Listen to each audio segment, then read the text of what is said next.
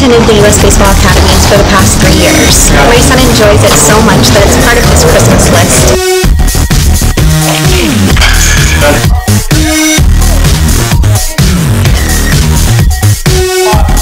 It's extremely easy to sign up.